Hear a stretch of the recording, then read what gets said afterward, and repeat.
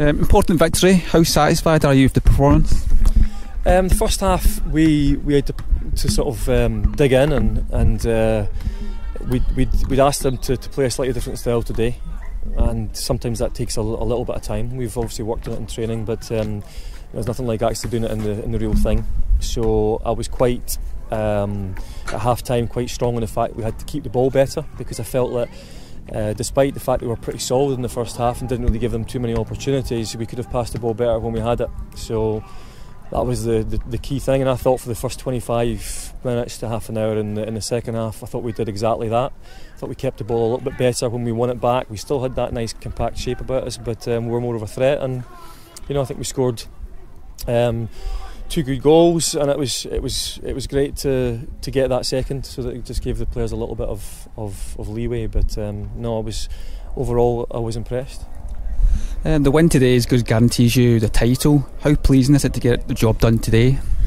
Um, it's still still mathematically uh, possible for Hibs to catch us, but uh, uh, but you know the thing is, it wouldn't matter whether th- that was the case or not. The, the, fact is, these players will want to go out and, and win the last two games of the season. So there's nothing I can say, say that will change that. That's just the way these, these players are. So um, it, it's it's all but all but there. Um, they're professional enough to know that um, that we still have to you know totally take care of the job. But um, no, I'm, I'm pleased for them because they've they've they work really hard. They're totally committed to this club, and um, and it, it is nice that they, they get the reward at the end. Uh, Erin Cuthbert scored a very, very good goal. Uh, she's an exciting young player. How much potential do you see in her? Loads of potential. She's got loads of potential. She's um, she can be as good as she wants to be. Erin, she's got all the all the tools. She she works really really hard. She she likes to tackle, but she likes to, to pass the ball. Um, she can she can run. She likes to score as we saw today. Um, and she's still a young player, you know. So I, I, think we've got really high hopes for her, and it was good to see Brogan come on at the at the end as well. Uh, Brogan Hayes a, a, a, real live wire of a, of a winger and um, very young, but definitely ready to, to get more first team action. And there are a number of players here that, that will get more first team action, but the problem's been that the games have been so difficult and tight.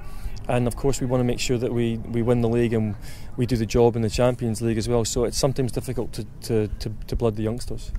Are you looking forward to your first taste of Champions League football as a manager? Yeah, I am. I'm looking forward to the game.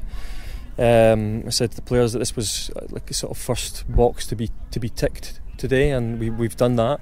Um, over the next couple of weeks, we've got some some big games, and uh, it's what they are looking forward to. They enjoy it, but uh, I am looking forward to this trip. It's going to be tough. It's a real challenge for us, but uh, you know the, the players are going to go into it on a high.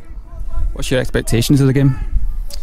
Expectations it'll be really really tough. It's going to be it's going to be a, a, level up from from what we play against. It's a Champions League. It's the you know best teams in, in Europe and we've picked um, out of the hat probably one of the best teams in, in Europe. So we know um, just how uh, challenging this is going to be for the for the group not just over the, the, the game in London but over both legs. It changed it slightly when you've got to play from, from two legs. So um, it's going to be it's going to be one of those where um, we're all excited to, to go down to London and to, to, to play a, a top team.